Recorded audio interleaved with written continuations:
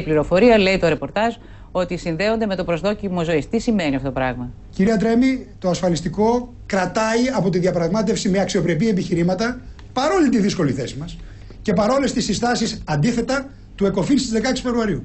Κρατάμε το 65.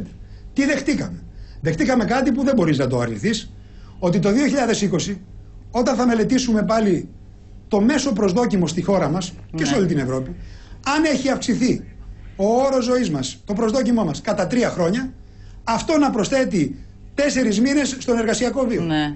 Το δύο- Κύριε Λεβέρδε, είναι- για, για να δω αν το αυτό είναι καταλαβαίνουμε, ο να αυτόματος δούμε, να μηχανισμός δούμε αν που το είπατε. καταλαβαίνουμε καλά. Μας το ζήτησαν στην παρούσα φάση να το πάμε στο 67. Εμείς Είπαμε; όχι. αντί είπαμε όχι. Μας το ζήτησαν ή δεν μας το ζήτησαν; Μας το ζήτησαν και Μπράβο. υπάρχει και Εμείς στη λοιπόν σύσταση του είπαμε ΕΚΟΦΗΝ. με τα Η επιχειρήματά σύσταση μας του ότι δεν ΕΚΟΦΗΝ. θέλουμε να Είναι το γραπτό. κάνουμε και η δέσμευσή μας είναι ότι θα το κάνουμε από το 20 από το 2020, δηλαδή σε ε, 10 χρόνια από τώρα, μου λέτε. Θα δούμε το προσδόκιμο. Θα το κάνουμε με βάση το προσδόκιμο. Πώς Εγώ θα είναι εύχομαι- τότε το προσδόκιμο ηλικίας, εύχομαι αυτό και- λέτε; Ναι, εύχομαι και κάθε σοβαρός και λογικός άνθρωπος και μη ψυχοπαθής δηλαδή. Εύχεται να ζήσουμε περισσότερο. Ναι, τώρα αυτή η Άρα με το 385 2020 ετία. μένει 65. Όμως τα στοιχεία της Eurostat για το υγιές προσδόκιμο των Ελλήνων δείχνουν μείωση, κυρία Τρέμι. Δεν είναι καλό αυτό. Εάν, δεν είναι καλό αυτό. Εάν όλα πάνε καλά και έχουμε αύξηση και του γενικού και του υγιούς προσδοκίμου το 2020, για κάθε τρία χρόνια που θα αυξάνεται το προσδόκιμο, το 82 ετών, τα 82 έτη να γίνουν 85, προστίθεται στην εργασία ένα τετράμινο. Κρατήσαμε το 65, αυτό όμως για, την, για το μηχανισμό σύνδεσης, πόσο ζω σε σχέση με το πόσο μένω στην εργασία μου, το δεχτήκαμε. Γιατί είναι λογικό, κυρία Τρέμι. Να ξαναρωτήσω, μέχρι το, Πώς το- δηλαδή για τα επόμενα 10 χρόνια το όριο είναι τα 65. Είναι 65. Μάλιστα.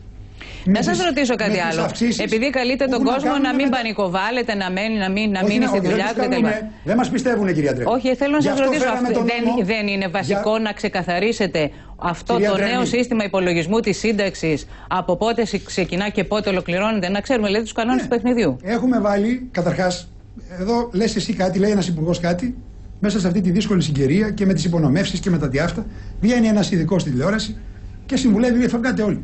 Φύγετε τώρα. Τι κάθεστε. Αύριο την πατήσατε. Αυτό πώς να το μαζέψεις; Κάνεις δηλώσεις, κάνεις δηλώσεις. Δεν μαζεύεται. Γι' αυτό κάναμε την νομοθετική ρύθμιση που σας είπα. Ψηφίζεται Ναι. αύριο στην Επιτροπή, την Πέμπτη τελειώνουμε. Τώρα, σε ό,τι αφορά τις, ε, τους χρόνους. Το 2018 έμεινε στη συμφωνία. Έμεινε στο memorandum. Το νέο σύστημα που μας έλεγαν όχι τότε είναι αργά, τους πείσαμε, όχι επειδή είμαστε καλοί, αλλά επειδή τους δείξαμε ότι υπάρχει μια μετατόπιση πόρων κατά 110 εκατομμύρια το χρόνο από τον ΟΓΑ, τον Οργανισμό Γεωργικών Ασφαλίσεων, προς συνολικά στο σύστημα. Άρα τα 8 αυτά χρόνια τα θέλουμε για να μαζέψουμε ένα δις. Δεν έχουμε τη δυνατότητα να χρηματοδοτούμε δύο ταυτοχρόνως συστήματα. Και αυτό το πράγμα το δεχτήκανε. Και το δεχτήκανε γιατί έχει αυτή τη δημοσιονομική όψη. Αν τους έλεγα ότι θέλουμε 8 χρόνια για να προσαρμοστεί το σύστημα, δεν θα το ακούγανε αυτοί που μας δανείζουν 110 δισεκατομμύρια ευρώ.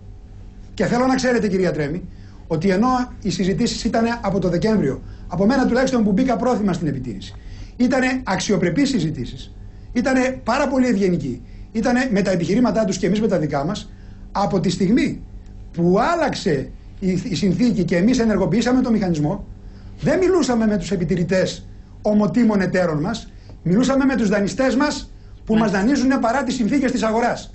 Αυτό κάνει το συνομιλητή σου ισχυρότερο και σε ένα λιγότερο ισχυρό. Αυτό είναι κατανοητό, κύριε Λοβέρδο. αλλά Παρ' όλα τα επιτρέπετε αυτά μια γε- πετύχαμε ό,τι πετύχαμε. Αυτό, αυτό που λέτε είναι πολύ κατανοητό. Ε, Νομίζετε, α- κύριε Τσίμα, ότι είμαστε χαρούμενοι; Προφανώς όχι. Αυτό νομίζετε έλειπε. ότι, αυτό, νομίζετε Προφανώς ότι το όχι. δίλημά μας είναι να περικόψουμε ή να αυξήσουμε μακάρι; Το δίλημά Προφανώς μας όχι, είναι αλλά- σώζεται η χώρα. Αν μπορείτε ή να μου πείτε με μια παίρνουμε μέτρα. λέξη, μια γενική απορία. Έχετε πιστεί τουλάχιστον ότι όλα αυτά τα οποία παρά τη θέλησή σας δεχτήκατε και τα οποία εμείς υφιστάμεθα, τουλάχιστον βγαίνουν σε καλό. Γιατί ακούω παρατηρήσεις σοβαρών ανθρώπων που λένε ότι η Ελλάδα πίνει ένα πικρό φάρμακο που μπορεί και να μην τη σώσει στο τέλος. Δηλαδή Κύριε η ύφεση Τσίμα, που θα προκαλέσουν τα μέτρα να είναι μεγαλύτερη από την οικονομία Κύριε που θα Τσίμα, κάνουν. Ξέρω μόνο δύο πράγματα. Ότι αν δεν γινόταν αυτό, και εγώ δεν είμαι έμπειρος όπως άλλοι, είμαι στην πολιτική σχετικά νέος. Αν δεν γινόταν αυτό, πιστεύω, ή αν δεν γίνει, αν δεν το εφαρμόσουμε σωστά, δεν βλέπω άλλη ευκαιρία. Μπορεί εγώ να μην βλέπω καλά. Αλλά άλλη ευκαιρία δεν βλέπω. Δεύτερον, εμείς, ας πούμε, εδώ στα ταμεία, όπως και το Υπουργείο Οικονομικών, έχουμε αύξηση από εισφορές. Χάνουμε όμως τα φάρμακα. Άρα, ακούστε, εάν αυτό δεν αλλάξει από τον Ιούνιο και μετά όπως έχουμε υποσχεθεί, παίρνουμε από τον καημένο τον συνταξιούχο, αυτόν που έχει παλέψει μια ζωή για να πάρει κάτι, και τα δίνουμε στις εταιρείες των φαρμάκων.